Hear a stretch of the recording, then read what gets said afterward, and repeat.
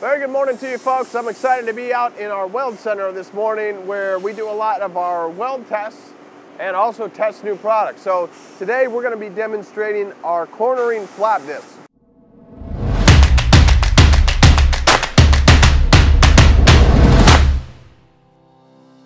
Now a cornering flap disc is very similar to a standard flap disc, only we've trimmed back the edge a little bit for you so the flaps stick out further.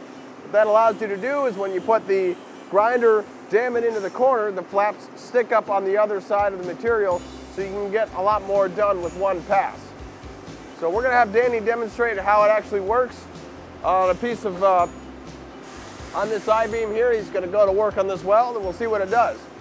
If you've got some questions or you want to try some out for your facility, let me know. They come in boxes of 10, so we'll send you a box, let you try them out. If they don't work, we'll refund you. However, man, we just want to make your life a little easier. You can see as Danny's grinding, a lot of the attention of the flap disc is going directly onto the weld. Um, the flaps are kind of bending over and getting some of that, the top part of the bead. Now this is a, a pretty thick bead of weld. Normally you don't have that thick of a, a weld, but kind of gives you an idea of how this disc works on the corner. Currently we carry the cornering flap disc in 40, 60, and 80 grit.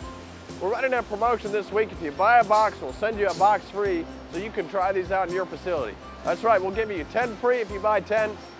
Try out the cornering disc. If you've got a big job coming up with a lot of edges that you need to grind through, let us know how they work. That's all for this week. We'll see you next time.